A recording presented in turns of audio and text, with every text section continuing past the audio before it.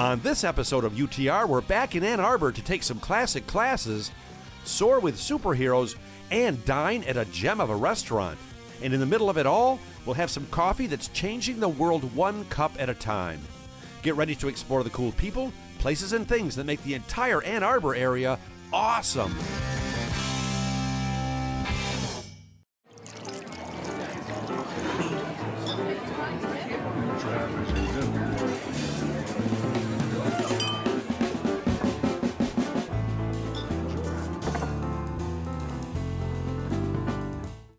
A visit to the Stahls Auto Collection will take you back to a time when cars were more than just a way to get around. A fantastic assortment of gas pumps, neon signs, and automated music machines dating back 150 years that must be seen and heard. Info at stahlsauto.com. I've been around the world, but there's one place I keep coming back to. And the more I explore, the more I realize it's the place to be. I'm Tom Dalton, and this is Under the Radar Michigan.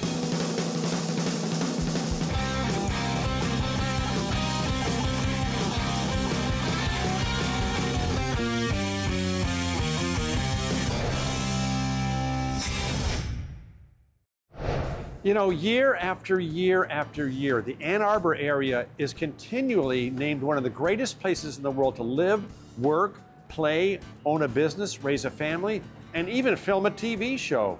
So if you'll excuse me, that's exactly what I'm going to do right now.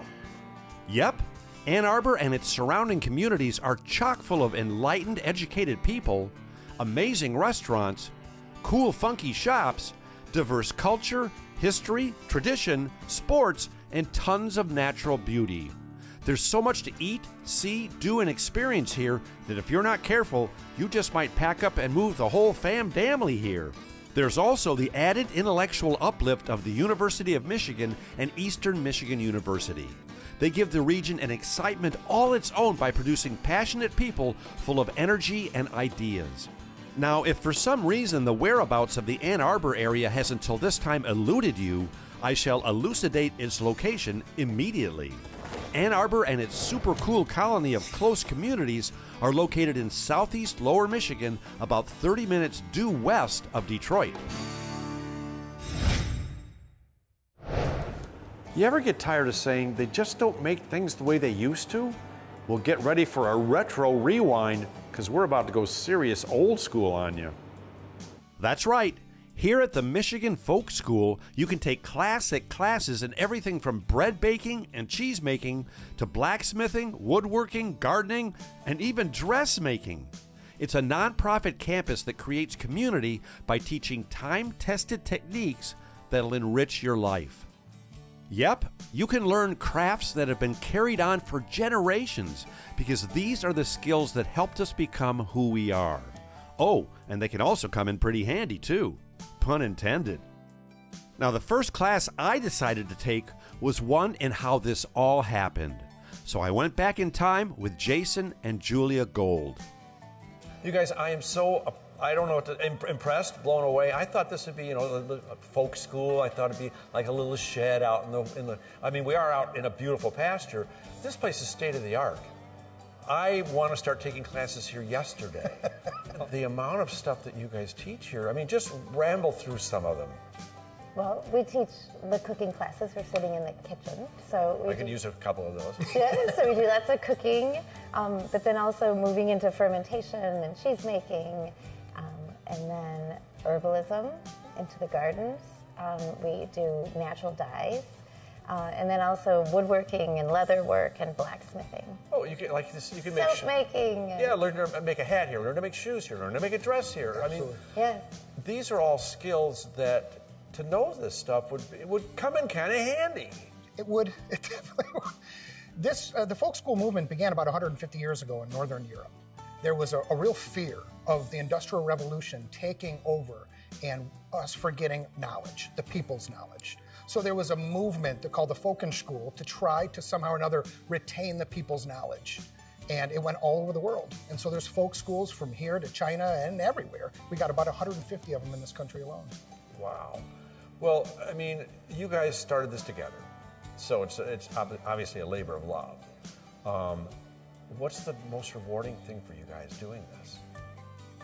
Well, it really does feel like we're we're preserving something for those of us that forgot to listen to our grandparents. And now that we want to know things, it's like we're like the surrogate grandparents. And we're preserving knowledge that could otherwise be lost to antiquity. But then also, there's valuable wisdom in the past that could push us forward and allow us to use that wisdom in conjunction with the technology of now and into the future.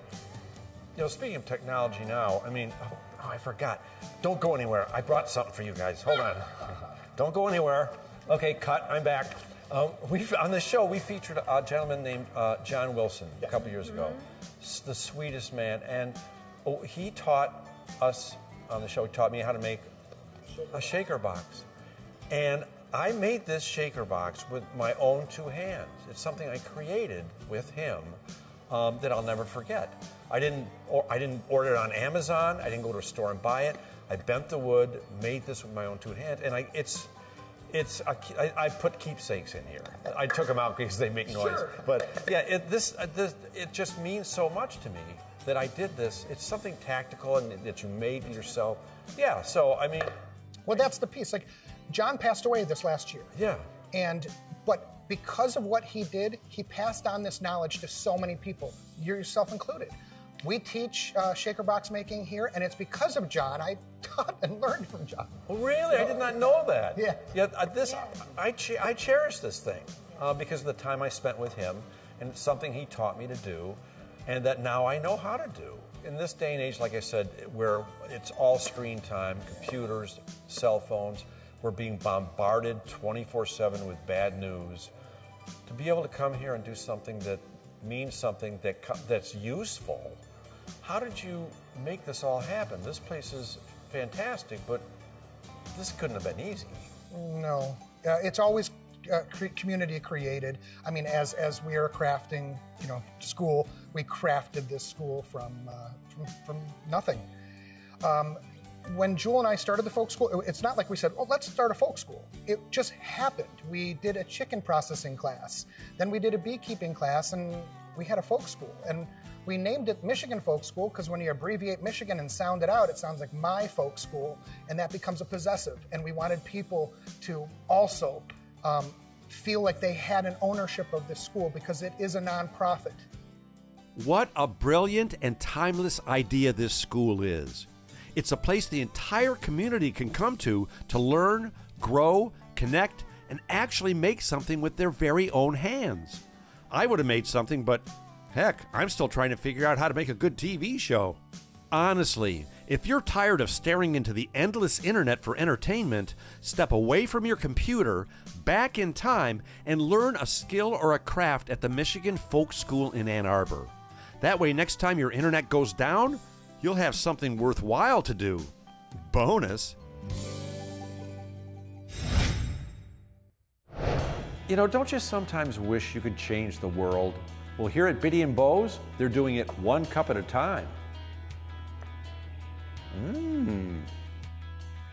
Now, when it comes to making the world a better place, this is a place you really need to know because they hire and help special needs people find a meaningful place and pursuit in their community. Yep, when you get a delicious cup of Joe at Bitty and Beau's, it's handed to you by someone whose smiling face may not look like yours, but when you boil it all down, they have pretty much the same needs, wants, and deserve the same respect as anyone else trying to make their way in this crazy world. So, to find out more, I arranged for a super special message from the kind and caring creator herself, Amy Wright. Hi, my name is Amy Wright, and I'm the co founder of Bitty and Beau's Coffee. The inspiration behind Bitty and Beau's Coffee is our two youngest children, Bitty and Beau, who both have Down syndrome. And as the parents of children with disabilities, when we learned that 80% of people in our country don't have jobs, we didn't want our kids growing up in a world like that. The reason we do what we do is because we believe people with disabilities need to be valued just like everybody else in the world. And what we noticed was when people would come into our coffee shops and spend time with our employees who have disabilities, they started to see them differently. And while we can't open enough coffee shops to absorb the number of people with disabilities that need jobs in our country, what we can do is continue to demonstrate what's possible when you give someone with a disability a chance. And so every guest that comes through our door is greeted with a warm welcome to Bitty and Beau's Coffee. They might sit at our counter and visit with our employees or have that moment when they pick up their order where they have a, a short conversation with one of our employees and they start to see them differently. And when you see people differently, you can't unsee that. You go back into your place of work or your school or your social setting and you start to try to include people with disabilities in your life more. So we really feel like our shops are these portals where people can come in, experience what it's like to spend time with people with disabilities, and that's when culture really shifts. We hope that people all over the state of Michigan will decide to make a road trip and come to Ann Arbor, bring the whole family, and come spend the day at Bitty and Beau's Coffee. You won't regret it. You'll think it's the best thing ever. And we hope you'll tell all your family and friends to come visit us too. Yep, Amy Wright started Bitty and Beau's for all the right reasons. And speaking of reasons, here's just some of the reasons why Bitty and Beau's baristas love their jobs. So first of all, what's your name? My name is Maria. Oh, very pretty name. Oh, thank you. Um, so what's your favorite part about working at Bitty and Beau's? My favorite part of working at Bitty and Beau's is working with my crew and see what the learning experience is in the coffee shop. So what do you love about working at Bo- uh, Bitty and Beau's? I love working here because uh, I like the customers and the workers here. So tell me about the map on the back wall of all the different places. Um, it's like it maps like of like Bitty and Beau's, like where it's at. And where all the people around the world who have been here. It's incredible. People have been here from every continent. That shows you how special you guys are. Yeah. Well, what's your favorite part, the customers or the coffee? Well, I like everything about being Bo's because I come here every day. But and also you guys actually take the time to write special notes to people for their mm-hmm. coffees. Why do you why why do you do that? So people can feel welcomed here and blessed to be here. Why do you think it's so important that Bitty and Beau's is here? It's important to make an impact on developmental and disabilities and all kinds of people like me. You are wonderful. Thank you. At Bitty and Beau's, coffee is the compelling caffeinated conduit that brings people in. But once inside, you suddenly and delightfully realize that as different as we all might be, at our hearts, we're all the same. So next time you're anywhere near downtown Ann Arbor and you're looking for a good place to go to get a great cup of Joe, all you need to know is Bitty and Beau's. Oh, and don't forget to bring your smile.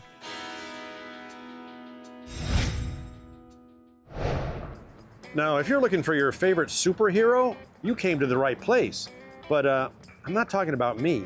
If I'm your superhero, you need a hobby. oh, like the cape though? Mm.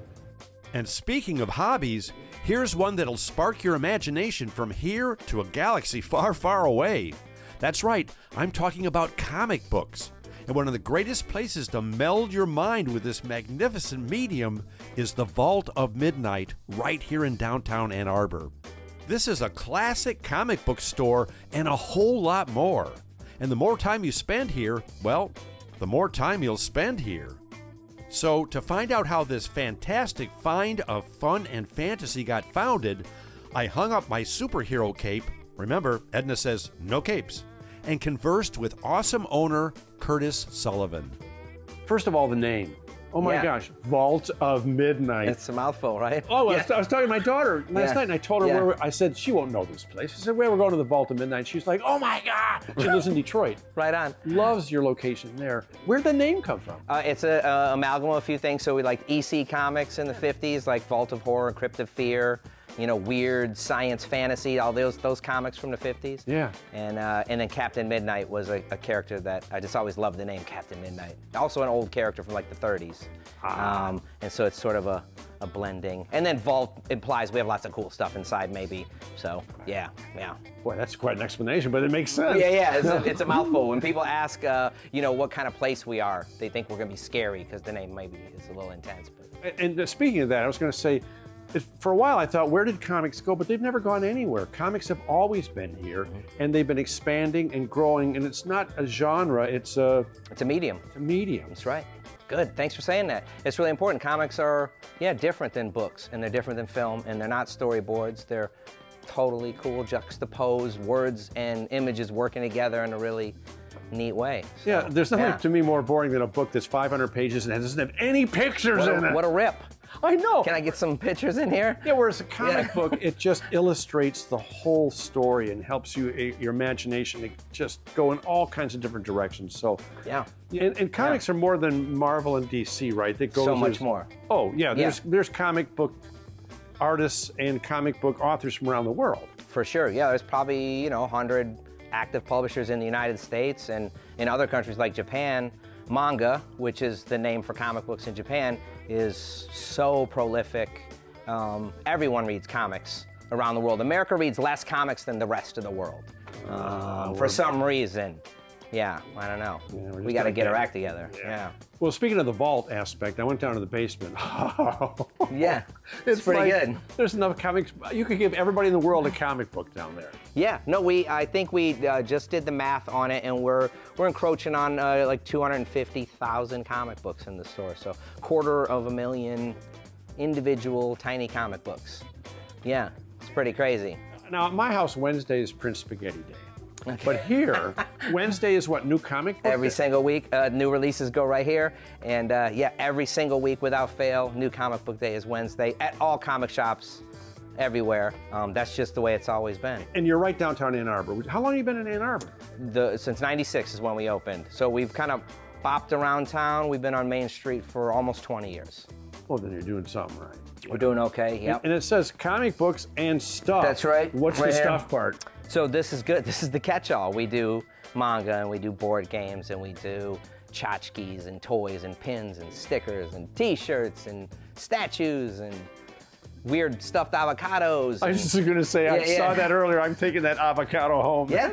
No, it's gorgeous. Yeah, we saw a lot of giant stuffed avocados. Uh, strangely enough. So you've got locations in Ann Arbor, Grand Rapids, and Detroit. That's true. Yeah, uh, 96 in Ann Arbor, and then we went to Grand Rapids in 2013. So we've been out there almost 11 years, and then Detroit in 2016. Wow. Um, so almost yeah nine or whatever years on in Detroit. So yeah, long time, and yeah, those those shops are doing good, and um, yeah, it's exciting. It's weird that we can have a couple stores. No more though. I, my dream initially was to just survive, and then we got a couple stores. We're like, oh, we'll open stores. We'll be a big giant, the borders of comics or something crazy, and then we realized that uh, it's very hard to run three businesses. So that's a lot. I, I, I love your passion. You can, I can tell you love what you do. Big time. You're, you're, you're great at it, Mhm. and you're helping turn Thank the you. whole world on to something that, I mean, everybody should read comics. I think so. I think so. Everybody should read, period, but why cheat yourself with just words? You know, throw some pictures in there. Right. The- you know, you get art and great writing, so yeah. you know, don't cheat yourself, treat yourself, as as someone who once said. Well, with talk time terminated, it was time for Tommy to wind up my imagination and let her go. And not only did I find comic books that were a huge part of my past, I also discovered new ones that will be a frequent part of my future. If you're a current connoisseur of comic books, or like me, want to pick it back up where I left off, Vault of Midnight in Ann Arbor has the combination to your imagination. So whether you travel through time, space, or just a normal car like the rest of us Earthlings, check this place out real soon.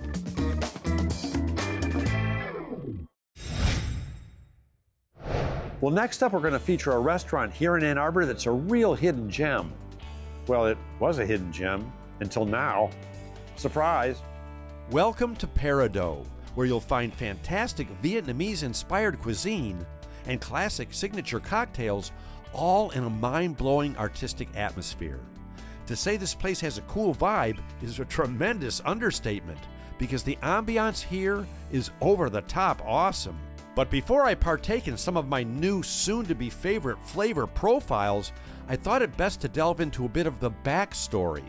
So I spent some table time front of the house with Chef Duc Tang. Just give me a little bit of sense of the journey that you took to get here. I mean, I, it was planetary, wasn't it? Well, Peridot is definitely the latest chapter in a, in a long journey. Most of that uh, culinary journey uh, revolves around Pacific Rim, the restaurant uh, I, I run and own next door to Peridot. And that's been around for 24 years. I was asked by a friend to help start that in 2000, uh, having um, going into with zero culinary experience, no culinary education, never worked at a restaurant before. In fact, my undergraduate degree was in biochemistry. and I, my, I have a graduate degree in theology. A friend asked me to come to Ann Arbor to help him start Pacific Rim.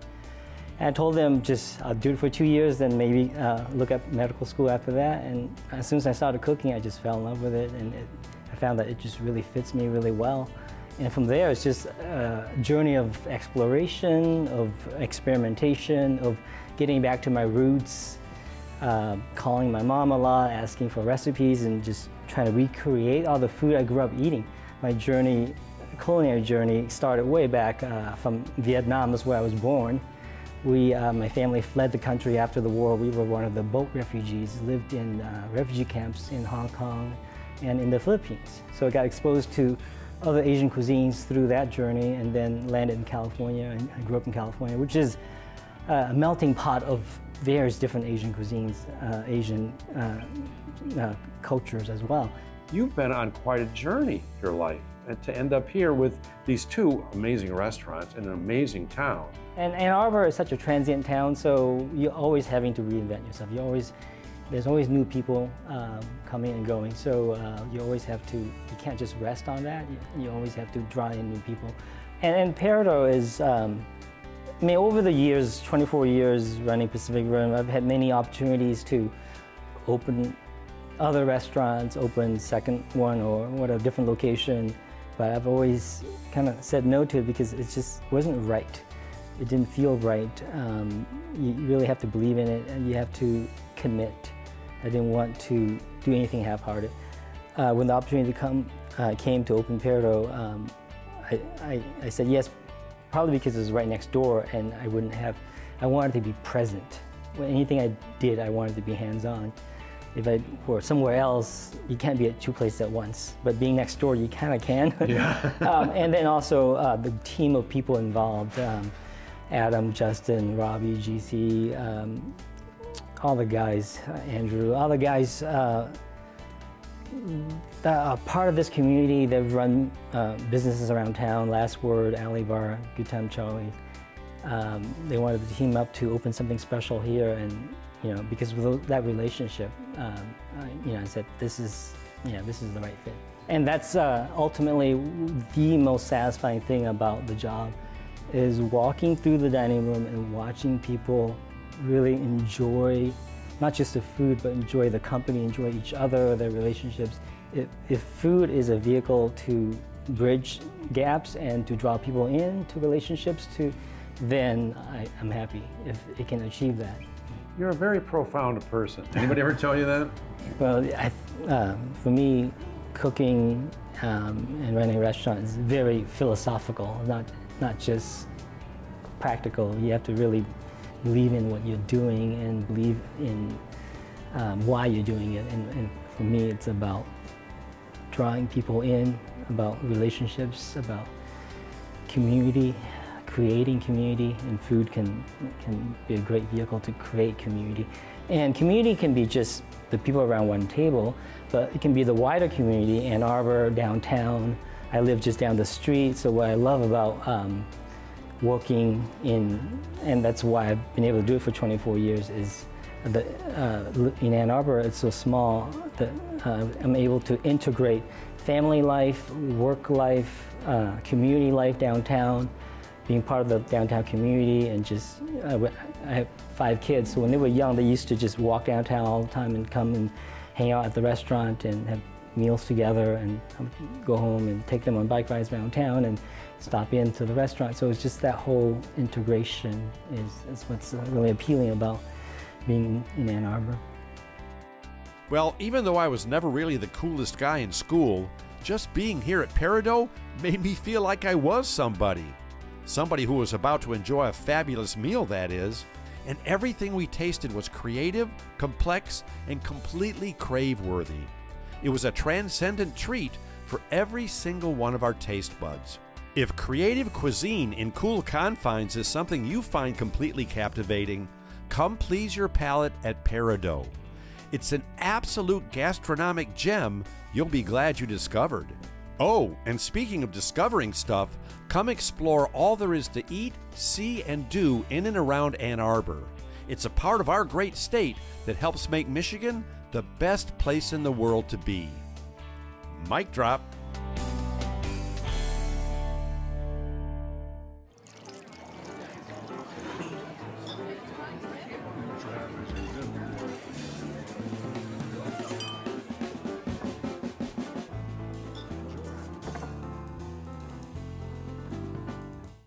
A visit to the Stahls Auto Collection will take you back to a time when cars were more than just a way to get around. A fantastic assortment of gas pumps, neon signs, and automated music machines dating back 150 years that must be seen and heard. Info at stahlsauto.com.